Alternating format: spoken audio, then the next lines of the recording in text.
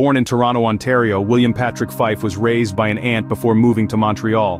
A handyman by trade, his life took a sinister turn. Commencing a killing spree at the age of 24 in 1979, he would ultimately take the lives of at least five women.